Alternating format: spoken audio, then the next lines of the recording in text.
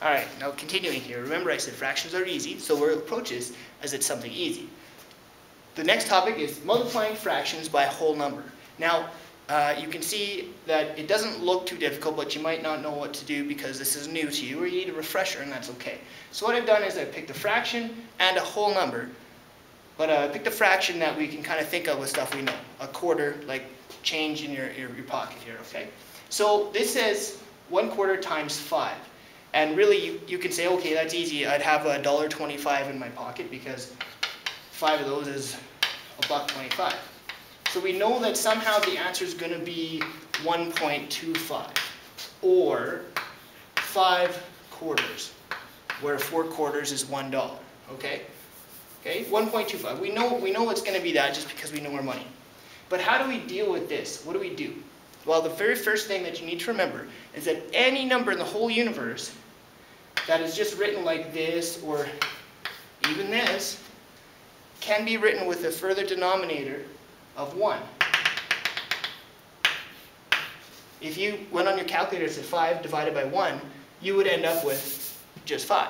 But we're smart, efficient, lazy math people, so we will just, instead of writing this, we'll just write 5. Okay. Similarly, you could really do this, 1 quarter divided by 1. Put this on your calculator, 0.25, it's the same thing as a quarter, 0.25 divided by 1, and what you get is this as an answer. It's the same thing. So dividing by 1 is something we need to think of because we're going to show how to uh, apply that to this question here. Okay, so this is what I remember having trouble with when I was younger. Okay, you have something like this. Okay, this is clearly the numerator. It's on top, right? Here's the line. This is the denominator, but what's this? It's written in the top and the bottom. Like how do we, what's the story here?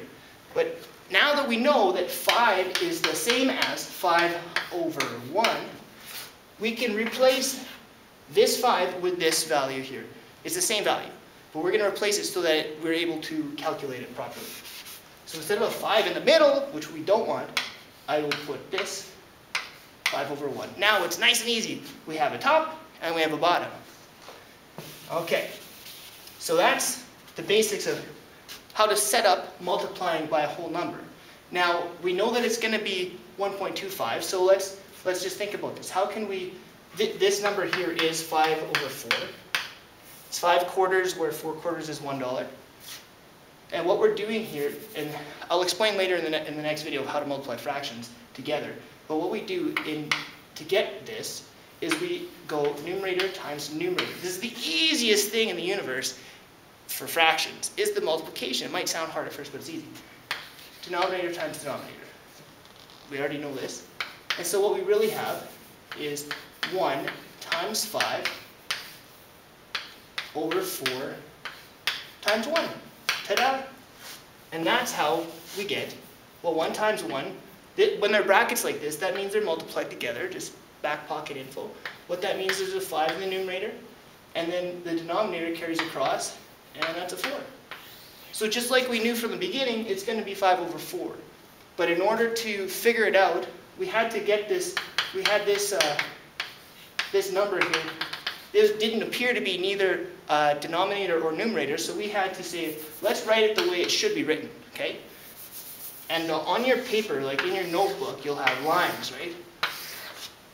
I want you to get in the habit of always keeping your numerator on one line and denominator on the other line and keep a line in the middle so that you can always keep track of what's what, okay? Anyway, so that's multiplying a fraction by a whole number. Very simple. If you have a question or you want me to re-explain it, just give me an email and I'll probably recreate the video for you, just for you. Next one coming up. Be sure to watch.